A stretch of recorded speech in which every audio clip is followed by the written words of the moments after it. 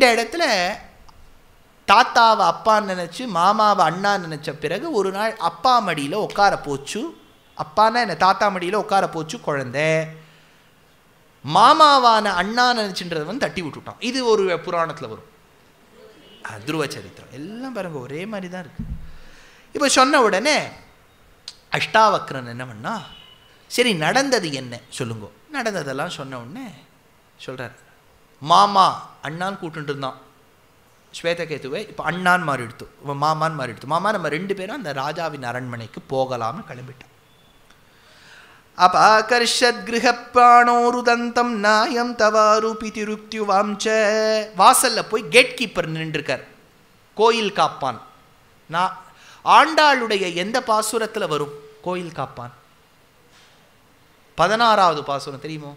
நாயகனாய் நின்ற நந்தகோபனுடைய கோயில் காப்பானே. வாட்ச்மேனை போய் முதல்ல கேட்குறான் இந்த அஷ்டாவக்ரன் சொல்கிறான் நான் உள்ளே போய் ராஜாவோட போய் பேசணும். அதுக்கு அந்த கேட் கீப்பர் சொல்கிறான் only old people are allow சொல்கிறான் ந வைபால பிரவிஷ்யந்திய எத்திர விப்ர விருத்தா விதக்தா பிரவிஷந்திய எத்திர விப்ராக ரொம்ப படிச்சவா வயசானவா இவா தான் உள்ள அலவுட் ரெண்டும் இருக்கணுமான்னு கேட்டான் அஷ்டாவக்ரன். வயசாக இருக்கணும் படித்தவாளாக இருக்கணும். ஏன்னா படித்தவாள்லாம் வய வயசாக இருக்கணுங்கிறது இல்லை வயசாக இருக்கவா எல்லாரும் படிச்சிருக்கவாங்கிறது இல்லை இது ரெண்டும் இருக்கணும்னா. அப்போ அஷ்டாவக்ரன் சொன்னால் எனக்கு வயசாக இருக்கு நான் நல்லா படிச்சிருக்கேன் எதெத்திர விருத்தேஷு கிருத பிரவேஷோ யுக்தம் பிரவேஷ்டும் மம துவாரபால. அசந்து போயிட்டான் அந்த காவலாளி. எப்படி வயசாக இருக்குன்னு சொல்கிறேன் அப்போ அது சொல்கிறான் அஷ்டாவக்ரன். சுஷூஷவச்சபி ஜிதந்திரியாச்ச ஞானாகமே சாபி கதாஸ்மனிஷ்டாம் நபால இத்தியன்வமதன்யமாகூர் பாலோப்பிய அக்னிஹதி ஸ்பிருஷ்யமானஹா அக்னி காரியம் ஒழுங்காக பண்ணுறேன் அக்னி காரியம் ஒழுங்காக பண்ணுறேன் இங்கே பெரியவாளுக்கு சுஷ்ரூஷ பண்ணுறேன் வேதாத்தியனம் பண்ணியிருக்கேன் நிறைய விஷயங்கள் காதால் கேட்டிருக்கேன். கேட்டபடி வாழ்க்கையில் நடக்கணும்னு நினைக்கிறேன். எனக்கு வயசாகிடுத்து நீங்கள் நினைக்கலையான்னு கேட்டார். கேட்ட உடனே இந்த கேட் கீப்பர் சொன்னார் அந்த காவலாளி. ஆனால் நீ பேசுறதெல்லாம் பார்த்தா கழம் மாதிரி தான் பேசுற. பார்க்கறதுக்கு அப்படி இல்லைனாலும் பேசுறதெல்லாம் பார்த்தா ஒரு கழம் மாதிரி தான் பேசுற. கஸ்மாத் பாலஸ்தவிர இவ பிரபாஷசே. அஷ்டாவக்ரன் சொல்கிறார் அப்பா ஒன்றே ஒன்றும் don't go with the colour of the hair ஏன்னா இப்போ யாருமே நம்ம அப்படி சொல்லவே முடியல. வயசாயிருக்கா இல்லையான்னு இல்லையா ஒருத்தர் ஹேர்லாம் அதே கலரில் தான் இருக்குது பியூட்டிஃபுல்லாக don't go by the colour of the hair என்ன அழகாக சொல்கிறார் பாருங்க. ந தேன ஸ்தவிரே பவதி ஏனாசிய பலிதம் ஷிரா பாலோபிய பிரஜானீதி தம் தேவாக ஸ்தவிரம் விதுகு ஒருத்தருடைய அனுபவத்திலையும் பேச்சுலேயும் போகும். Don't go by the colour of the hair சரி இந்த காவலாளி பார்த்தாங்க இனிமேல் உன்னோட பேசி பிரயோஜனம் இல்லை. ராஜா கிட்ட போய் சொல்லிட்டேன்னு உள்ள ராஜா கிட்ட போய் சொன்னான். ஒரு பிள்ளை. ஐயோ ஒரு கழம் வந்திருக்கு. ராஜா கேட்டார்.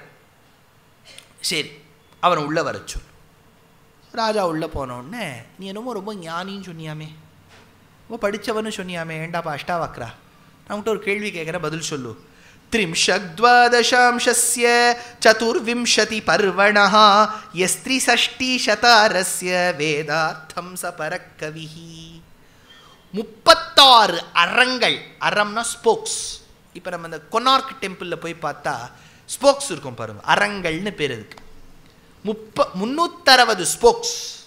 ஆச்சா அடுத்தது சதுர்விம்சதி பர்வணஹா டுவெண்ட்டி ஃபோர் டிவிஷன்ஸ் விம்சத்தினா இருபது. சதுர்விம்சத்தினா இருபத்தி நாலு பிரிக்கணும். த்ரிம்ஷக் துவாதசாம்சஸ்ய துவா தச பன்னெண்டு. த்ரிம்ஷக்கு பன்னெண்டு இன்ட்டு த்ரிம்ஷக்கு மூணு. பெருக்கணும். சொல்லிட்டு சொல்கிறார் பன்னெண்டு. பாகங்கள் இருபத்தி நாலு சேர்த்திக்கள் முன்னூத்தறுபது அறங்களோடு சேர்ந்தது. எது? அப்படின்னு கேட்குற அந்த குழந்தை சொல்றது சதுர்விம்சதி பர்வத்வாம் ஷண்ணாபித்வாதசம் பிரதி நாபி. சின்ன விஷயம் சொல்கிறேன் இந்த விஷயத்துக்கு சம்பந்தம் இல்லைனாலும் சொல்கிறேன் சுதர்ஷனர் சக்கரத்தாழ்வார்னு இருக்கார் இல்லையா பெருமாளுக்கு? ஆயுதானாம் ஆயுதா ஆயுதங்களுக்கெல்லாம் ஆயுதம் அவர்தான். ஆயுதேஸ்வரஹான் பேர் அவருக்கு சக்கரத்தாழ்வார்க்கு. அவர் மேலே மூணு நாலு ஸ்தோத்திரங்கள் உண்டு. அது படிங்கோ ஏன்னா சக்கரத்தாழ்வாரை நினச்சாலோ படித்தாலோ பயம் போகும்னு பெரியவாள்லாம் சொல்லுவாள் ரொம்ப சுலபமாக ஒன்று இருக்குது ஹேதி புங்கவஸ்தவம். அதுதான் புஸ்தகம் எடுத்துன்னு வந்தேன்னா எழுத முடியும். இல்லைன்னா நீங்கள் ஞாபகம் வச்சுக்கணும். ஹேதி புங்கவஸ்தவம். ஹேத்தின்னா என்ன? சக்கரம்னு அர்த்தம். ஹேதி புங்கவஸ்தவம் அப்படின்னு நடாதூரம்மாள் நைன் ஹண்ட்ரட் இயர்ஸ்க்கு முன்னாடி சக்கரத்தாழ்வாரை பற்றி எழுதியிருக்கார். ரொம்ப சிம்பிள் அது. அடுத்தது கூர நாராயண ஜீயர் அப்படிங்கிறவர் எயிட் ஹண்ட்ரட் இயர்ஸ்க்கு முன்னாடி சுதர்ஷன சதகம்னு எழுதியிருக்கார். நூறு ஸ்லோகங்கள் சக்கரத்தாழ்வார் மேலே. ரொம்ப கஷ்டம். கஷ்டப்படுவோம் சொல்கிறதுக்கு அவ்வளோ கஷ்டமாக இருக்கும். மூணாவது ரொம்ப சுலபம். சுதர்ஷனாஷ்டகம் அப்படின்னு சுவாமி வேதாந்த தேசிகன் பிரதிபட்டஸ்ரேணி பீஷண வரகுணஸ்தோம பூஷணன்னு எட்டு ஸ்லோகங்கள் எழுதியிருக்கார். சக்கரத்தாழ்வாருக்கு இருக்கக்கூடிய ஆயுதங்கள் சக்கரமே ஒரு ஆயுதம் தான் அந்த ஆயுதத்துக்குள்ள இருக்கக்கூடிய பதினாறு ஆயுதங்களை பற்றி ஷோடஷாயுத ஸ்தோத்திரம்னு தேசிகன் எழுதியிருக்கார். இதில் ஏதாவது ஒன்று சிம்பிளாக இருந்தால் படிங்க.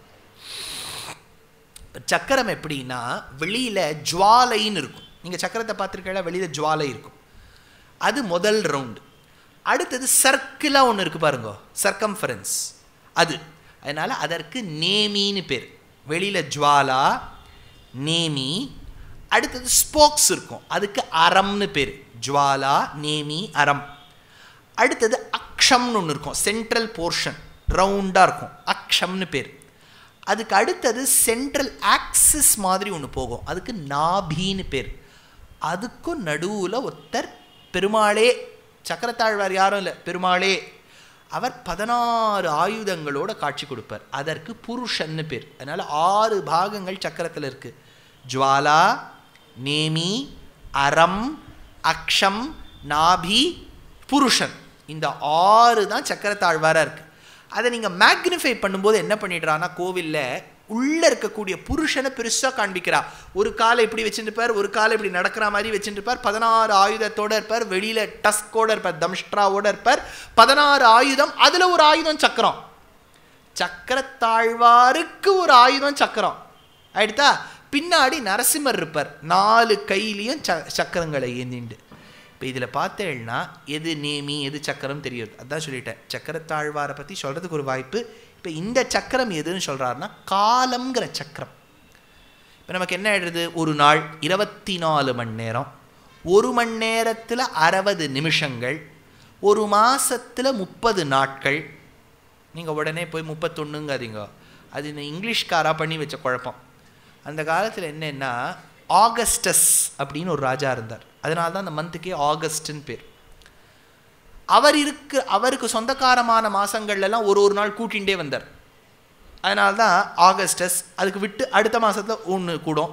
எல் அவர் என்ன பண்ணிட்டார்? எல்லா மாதத்துலையும் ஒரு நாள் கூட்டி விட்டார் ஆனால் அப்படி நம்ம கூட்ட முடியாது. எவ்வளவு நாள் சூரியன் சுற்றுறதோ அவ்வளோதானே இருக்க முடியும். அப்புறம் என்ன பண்ணிட்டார்? ஆல்டர்னேட் டே மந்த்ஸ்லேருந்து ஒரு நாள் எடுத்தார். இன்னமும் பத்தலை. அப்போ ஃபெப்ரவரியிலேருந்து ரெண்டு நாள் எடுத்துட்டார்.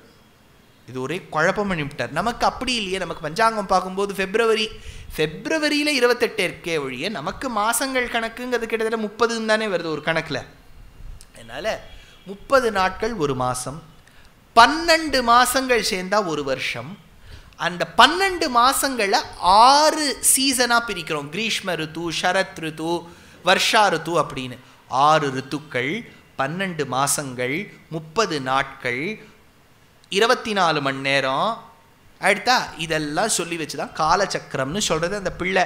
சதுர்விம்சதி பர்வத்வாம் ஷண்ணா வித்வாதச பிரதி தத் த்ரிஷஷ்டி சதாரம் வை சக்கரம் பாது சதாகதி. அடுத்தது அரசன் கேட்குறார் எந்த ரெண்டு மேலேந்து மெதுவாக ஆரம்பித்து ரெண்டு கழுகு பறக்கிற மாதிரி கீழே பறந்து நம்மக்கிட்ட வந்து ஒரு குழந்தைய கொடுத்துட்டு போயிடுறது.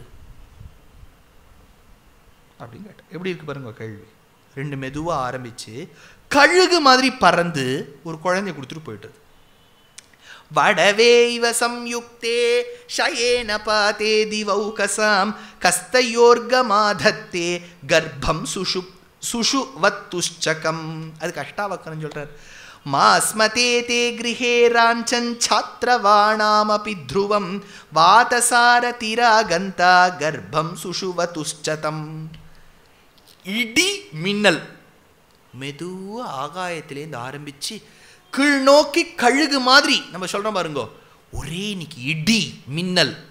ரெண்டும் கீழே வந்துட்டு காத்த மழையை குழந்தையாக நம்மக்கிட்ட கொடுத்துட்டு போயிடுறோம் அப்படிங்கிறார். வாத சாரதி ராகந்தா கர்ப்பம் சுஷுவ துஷ்சதம் இப்போ அடுத்த ஒரு கேள்வி ராஜா கேட்குறார். இந்த கேள்விக்கு என்ன ஒரு பெரிய விஷயம் இருக்குங்கிறத யாராவது சொல்கிறேளான்னு நான் பார்க்குறேன்.